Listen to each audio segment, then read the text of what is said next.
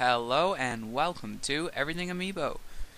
Today I've got for you another episode of Weekly Booster Battle. This time I've got Diancie um, from another Phantom Forces packet. Again, this is the last type of Phantom Forces. So far we've already had Mega Manectric, uh, Mega Gengar, and Aegislash. Now we're on to Diancie, the last type of packet.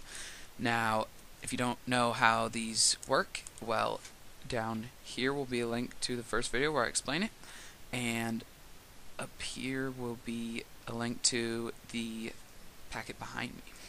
Alright, let's get this started.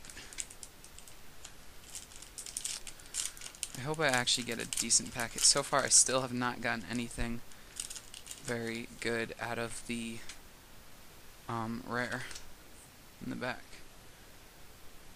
Okay, card trick. One, two, three. One, two.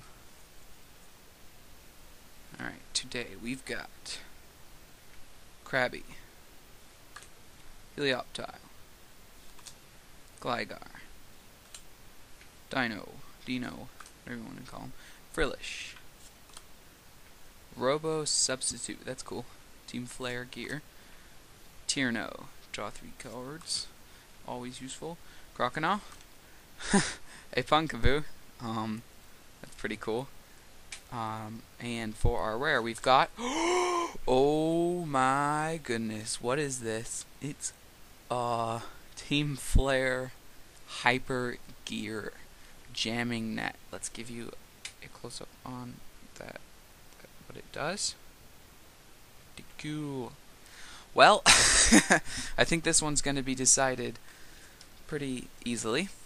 So, there you have it. A Team Flare Jamming that card. It's really cool. It's red and it's shiny. That's just awesome. A Pumpkaboo um, Reverse Holo. And that Robo Substitute is pretty cool. Those are my highlights. So, as usual, comment below which um, packet you think won for your chance to be entered into the prize draw for the code card. Alright, that's it for today. Um, I hope you enjoyed it. I certainly did. I'm super happy right now. Um, don't forget to subscribe and like this video if you enjoyed it. Bye.